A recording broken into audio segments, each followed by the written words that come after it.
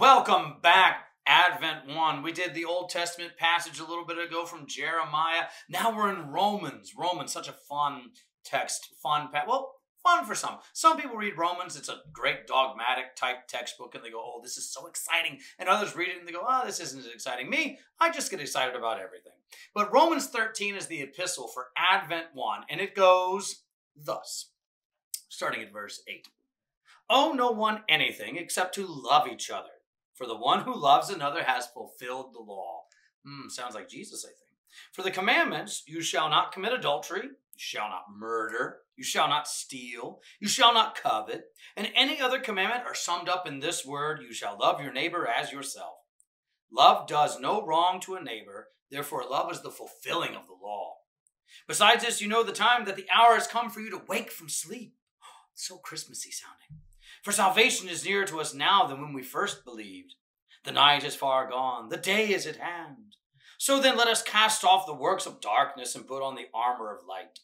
Let us walk properly as in the daytime, not in orgies or drunkenness, not in sexual immorality or sensuality, not in quarreling and jealousy, but put on the Lord Jesus Christ and make no provision for the flesh to gratify its desires. Ooh, fun times. That's more Halloweeny than Christmassy, Adventy. The reality is, the time is short. The hour is nearer than when we first believed. We're closer to heaven. We're on that adventure together, that pilgrimage unto life eternal. And Christ comes to carry us all the way there. And how do we walk in the meantime? We walk not gratifying the old Adam because he's over here wanting to do stuff. You know, he's like Joe Pesci over there. I'm going to, you know, if you know who Joe Pesci is, then you're blessed uh, children. If you don't know, then ask your mom or dad who Joe Pesci is.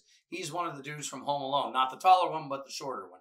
But it's like that's the old Adam. He's just kind of, mm, you know, egging you on to do bad stuff, to do wicked things. And we we don't want to do that because it's so much more fun to love my neighbor. It's so much more delightful not to be jealous, but to rejoice in what they have, to, to be humble, and to walk in hum. You're about to say in humility, Chris, and that's the same thing. But to walk in that with each other, to love one another, to be Christ to each other. Why? Because that's how we're going to live unto eternity. We're going to be as Christ is for us, for each other, under the ages of ages. So might as well start acting like it now, living it now, rejoicing in it now, because Christ rejoices in you, because you are all he wants. He comes to claim you as his own and carry you back home to his Father in heaven.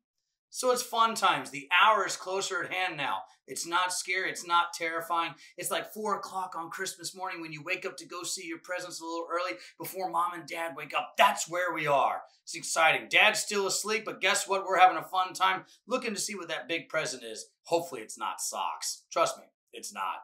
God bless. We'll see you next time. Bye bye. What do you value? At Concordia University, Nebraska, we value the equipping of church workers for lives of service to both church and world. In a culture where our faith can often be met with derision, our world needs ardent Christian leaders to rise to the helm and steer the next generation of Christ followers into new territory. You have the God given gifts, we have the tools to uncover and develop them. We are Nebraska's university with values.